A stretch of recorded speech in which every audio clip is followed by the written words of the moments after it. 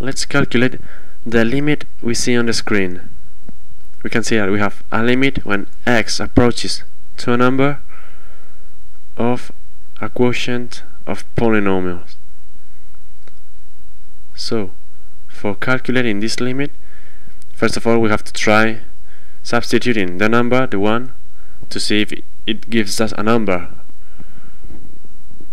So, substituting the 1, we would it, this would be 1 cubed minus 3 times 1 plus 2 divided by 1 cubed minus x minus 1 square minus 1 plus 1. This is the same as 1 minus 3 plus 2 divided by 1 minus 1 minus 1 plus 1. So 1 plus 2 is 3 minus 3 is 0 on the numerator and on the denominator 1 minus 1 0 minus 1 plus 1 0 again. So this is an indetermination. This means that by obtaining 0 divided by 0 we cannot get from it any value for the limit any number that solves this limit.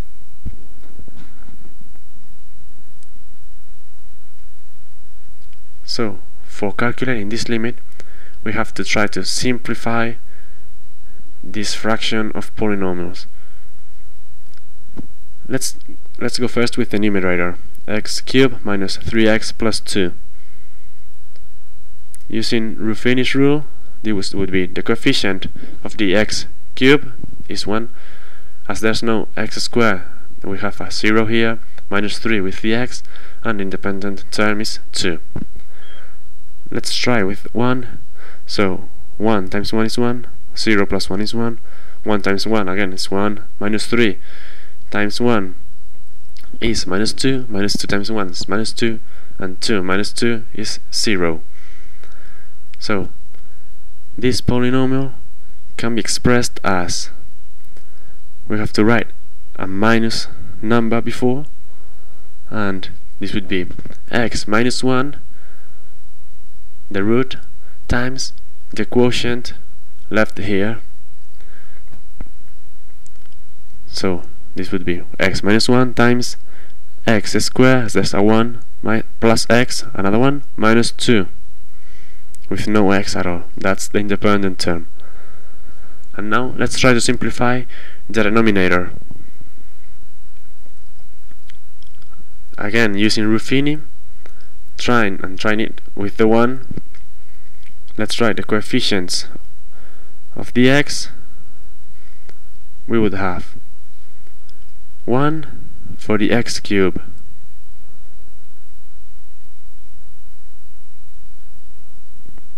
minus 1 for the x square minus, uh, minus 1 again for the x and plus 1 of the independent term so this would be 1 times 1 is 1 minus 1 times 1 is 0 0 plus minus 1 is minus 1 minus 1 times minus 1 is minus 1 again.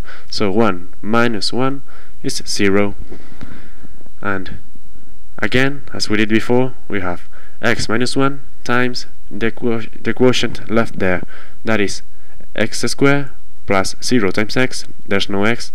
Minus 1 independent term so let's rewrite this again up here. The numerator is x minus 1 times x squared plus x minus 2 and the denominator would be x minus 1 divided by x squared minus 1 I'm sorry times. We can cross out both terms x minus 1 on the numerator and on the denominator. And the limit would be like this. x squared plus x minus 2 divided by x squared minus 1 let's try again. Substituting the 1 to see if we have a value that solves the limit. Uh, substituting the 1 we will have. 1 square plus 1 minus 2 divided by 1 square minus 1 that is equal to 1 plus 1 minus 2 divided by 1 minus 1 again 0 divided by 0 an indetermination again. We have to go on simplifying the polynomials so again applying Ruffini on the denominator and on the numerator we would have. Let's rewrite this here. The limit when x approaches 0 and calculate down here the simplification for the numerator first.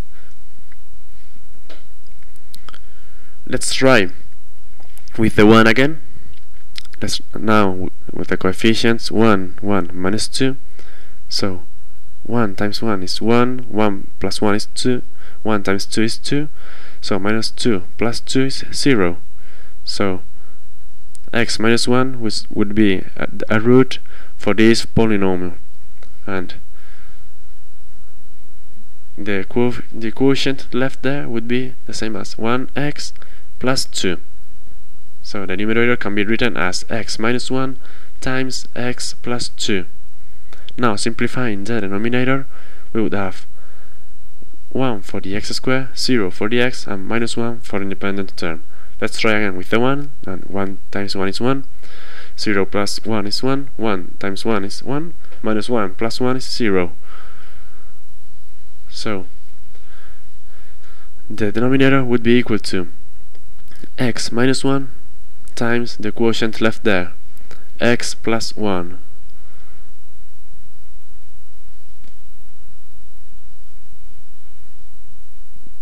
So let's write it on the limit and we would have on the numerator. Oh first let me remind you that we can simplify this the denominator by in a much easier way but that's not going with us now. So writing the numerator on the on the limit we will have something like this x minus 1 at which we can simplify on both term numerator and denominator. And now we can see that substituting the 1 we will obtain the value of the limit. So substituting the x by 1 this would be 1 plus 2 divided by 1 plus 1 and this is the same as 3 halves. And this is the the answer for the given limit